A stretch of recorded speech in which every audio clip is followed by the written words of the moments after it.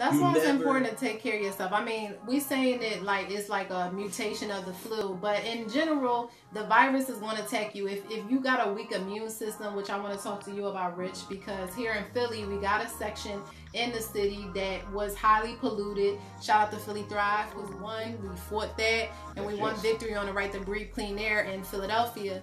But cigarettes, some people got asthma, and what this virus does is when when it comes to a weaker immune, it can kill you. It can be said over 40 people got it here, and over a hundred thousand is, is infected. And I know it's over about 30 people that actually died.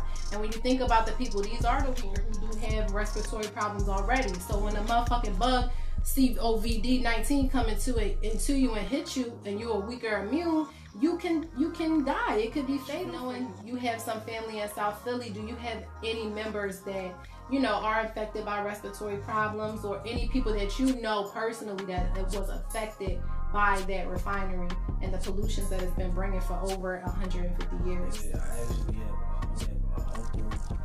that's still alive, but my dad's side of the family, they from South Philly. Mhm. I'm from West, but my dad's side of the family, a lot of them is elderly, Right. and their children is not spring chicken either. They're like 45, Mhm. 50 or whatever. So I'm concerned with them. Although a lot of them is athletes, that's get my athletic side from. I'm concerned.